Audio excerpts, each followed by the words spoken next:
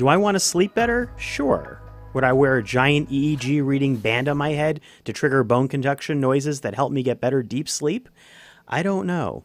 Dreem is the first product by Rythm, a company aimed at creating neurological wearables. Dreem is a headband with sensors that can sense EEG or electroencephalogram activity in the brain. It measures electrical currents and can tell what types of brain waves your brain is generating.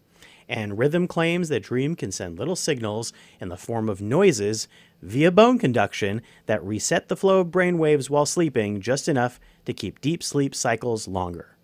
Do I know how this works? No, I have no idea. Dreem is available for pre order now for $349, and there will be final working models later this year. The unit I tried very briefly was a hand built prototype. It'll actually look like this mock up, padded and cleaner. Dreem pairs with iOS or Android and can sync your sleep tracking data, and Rythm says Dreem can be used for more than just sleep. Think brain controlled AR and VR interfaces. I saw it was doing something, but I wasn't able to go to sleep with one. I look forward to sleeping with one soon when we get a review unit. I'm sure my wife will love that.